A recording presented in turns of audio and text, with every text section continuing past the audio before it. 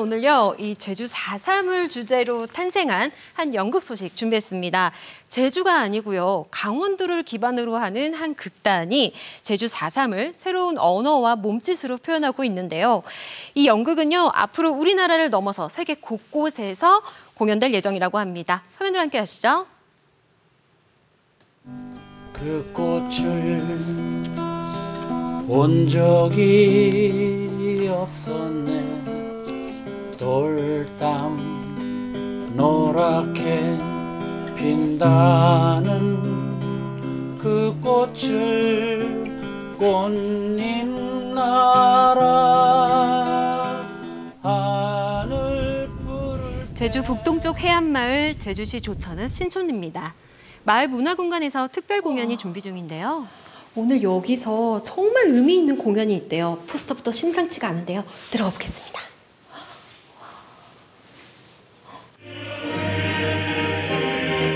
조명과 현장을 압도하는 음악. 광대 마스크를 쓴 지휘자가 시선을 사로잡습니다. 극단 노뜰의 막바지 리허설이 한창인데요. 어찌나 다들 집중을 하던지 저도 순식간에 빠져들었습니다. 마음의 먹먹함을 안기며 막이 내렸는데요. 사삼 관련된 그 이야기를 하고 있고요. 어, 몇 가지 장면들이 연결되어 있어요. 그리고 저 같은 경우는 처음에 지휘자 역할을 하고 있고요. 그 당시 사삼 때 여러 많은 인물들과 희생자 유가족에 관한 역할을 하고 있었습니다. 강압적으로 4.3때 희생된 사람들의 유품을 버리는 리어카군을 맡았습니다. 극단 노뜰은 지난 1993년에 창단했습니다. 강원도를 기반으로 하지만 세계 20여 개국을 넘나들며 활동하고 있는데요. 대사를 최소화하면서 음악과 몸짓으로 내용을 풀어가는 게 노뜰만의 특징입니다. 지난해부턴 전쟁 3부작을 선보이고 있는데요. 일부 국가를 호평 속에 마무리 짓고 2부 침묵의 쇼케이스를 앞두고 있습니다. 침묵은 제주 4.3을 주제로 한 노뜰의 창작극입니다.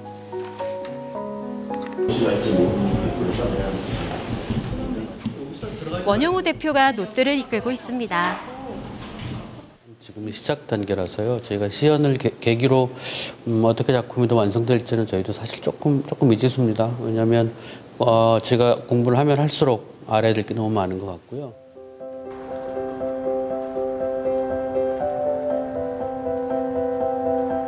알면 알수록 배워야 할 게 많아진다는 제주 4.3.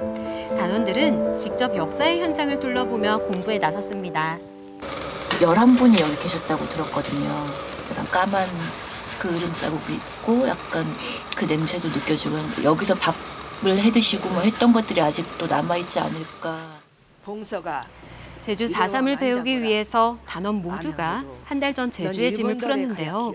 현장에서 극을 만들어 갔습니다. 산에도 먹을 거 입을 거 아이고 이젠 어멍도 없고 형도 없고 나 혼자 어떤 살래 어머니 또시 옛날같이 사라질 거랜 어머니 저리 가 제주 예술가들이. 구축한 제주 4.3 야, 작품들은 훌륭한 길라잡이가 됐고 시국 4.3의 평화 현장은. 연습 장소가 되었습니다. 되게 어떻게 보면 사람들이 이곳에 다 피서 오고 그 당시에 사람들이 다 놀러 오고 고통의 장소로 바뀌었다는 게 올 때마다 참 마음이 무겁고 저희가 얘기하는 것이 혹시 음, 불편하게 에, 다가가지진 않을까 하는 뭐 생각도 좀 있고 음, 좀, 좀 복잡한 마음입니다. 70여 년 전의 일이지만 현재 진행형인 제주 4.3. 이들은 침묵하지 않을 생각입니다. 제주에서의 여정을 이틀 남긴 밤 쇼케이스가 마련됐는데요. 이곳이 도심에서 벗어난 어촌 마을이어서 관객이 있을까 걱정이었는데 괜한 우려였습니다. 주제가 뭔지 아세요? 침묵이라고 사삼의 그 아픈 역사를 많은 사람들이 좀 이 연극을 통해서 좀 몸으로 마음으로 느꼈으면 좋겠어요. 어, 이 내용에 대해서 어, 떻게 표현했을지에 대해 되게 기대됩니다. 드디어 공개된 침묵. 몸짓 하나, 시선 하나에 70여 년 전 그날, 그곳의 삶이 표현됩니다.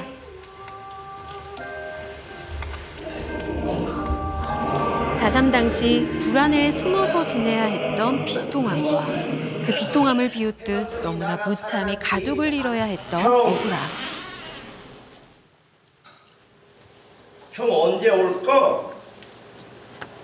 우리 동네선 형 때문에 사람들 죽음째 막 경고하면서 어제도 순경이 왔다간 형 내놓으랜 어멍을 막 패대기 치단 가서 이것은 누구의 범죄인가? 기관총인가? 기관총 사수인가? 꽝!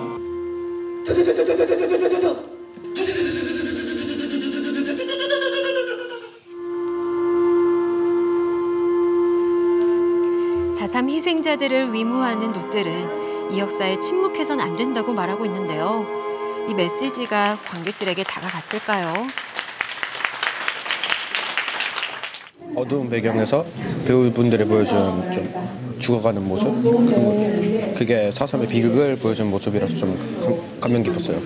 이 연극도 가슴 아파 가슴이 너무 아프고 하지만 이제 사삼을 많이 알려야 되니까 이걸 좀 더 어떻게 하면 좀 더 많은 사람이 이 연극을 볼 수 있을까 하는 그런 생각을 많이 하게 되는 연극이었습니다.